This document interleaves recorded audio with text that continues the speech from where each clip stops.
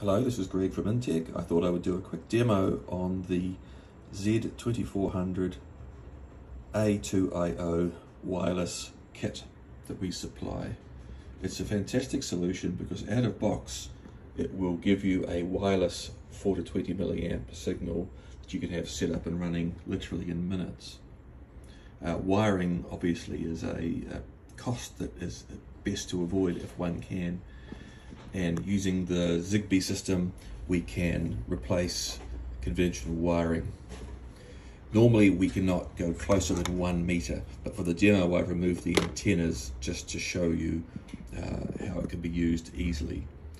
Each unit has two channels of analog signal, universal. It also has four DIOs, so we can have four switches as well communicating between them.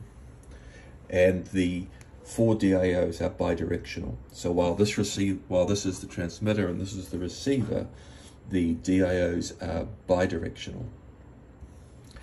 I mentioned that you have universal input, so we can put in milliamps, we can put in millivolts, we can put in thermocouple RTDs, etc. Right now I'm using dear old Mr. Signal to simulate milliamps because this is how it will come out of the box.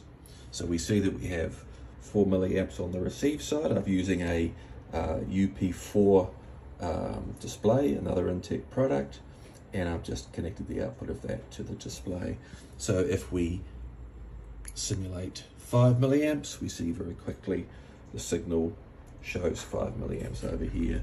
And I've just simply set up an alarm for 6 milliamps so that anything over, over 6, uh, a relay will trip and set off an alarm or turn off whatever instrumentation you have running. So as a reminder, there are two channels of analog and four DIOs and built into the unit are relays.